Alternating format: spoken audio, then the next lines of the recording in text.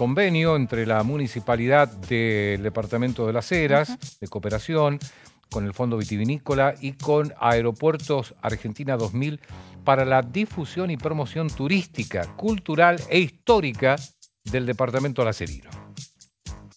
Lo cuenta el intendente Daniel Orozco y el gerente general de Unidad de Negocios Oeste de Aeropuertos de Argentina.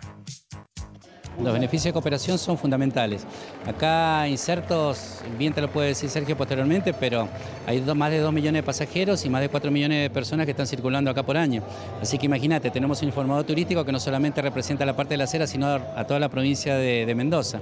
Pero lo más importante de todo es el hecho del esfuerzo que ha hecho Aeropuerto Argentino 2000 y el Fondo Vitivinícola para insertarse y estar dentro de nuestro municipio, que en el lugar, diríamos, donde estamos trabajando. Tiene mucho sentido trabajar juntos, trabajar juntos por la cultura, por el turismo, por la industria de la provincia. Estamos aquí con un representante de la industria, un representante de los bodegueros.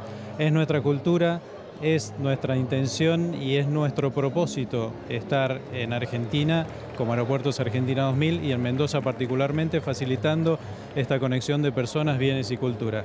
Esa es nuestra, nuestra forma de existir y nuestra forma de colaborar a un país mejor. Nosotros eh, como actividad vitivinícola siempre vimos muy importante estar presente en el aeropuerto, por eso eh, se estableció acá en el, en, el, predio del aeropuerto un viñedo y todos los años el Fondo Vitivinícola realiza, la fiesta de la cosecha. Este año, gracias a la ayuda de la Municipalidad de Las Heras y de, Aeropuertos Argentina 2000, vamos a poder realizar la fiesta de la cosecha como siempre.